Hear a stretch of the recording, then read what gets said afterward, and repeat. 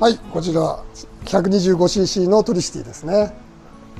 でこれは仕様はまあノーマルの、えっと、色替えの車両になりますね。色が変わってるのはグレーなそうですね。ホワイトグレーと呼ぶ呼んでるんですけどまあ白寄りのグレーっていうんですか？かっこいいですね。これあの結構ね今一押しのカラーリングないですよね。マットですよね。そう艶消しと艶ありが混ざってるんですけどあえて艶ありのパーツはちょっと少なめにだかこういうグラブバーだとか持つとこはねあのやっぱ艶ありの方が汚れがにつきにくいんで。そうですね。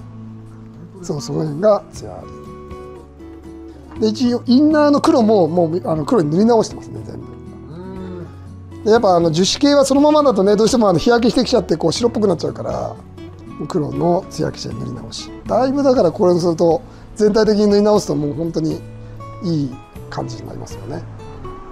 基本的にもあの、まあ、塗り塗ってないパーツは少ないようにはしてますんでみんな塗り直しますんで、ね、あのフロントのホイールのところのセンターキャップだけまたちょっとこう塗り直してて。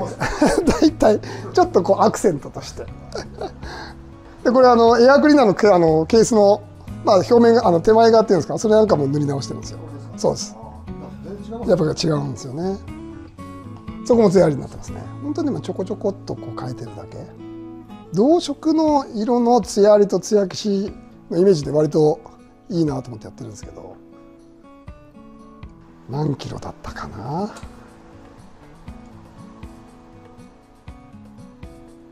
3万3000キロ。じゃあこちらも。そうですね。あのこれからプライスつけて販売しますので。はい。ぜひホームページから問い合わせください。お願いします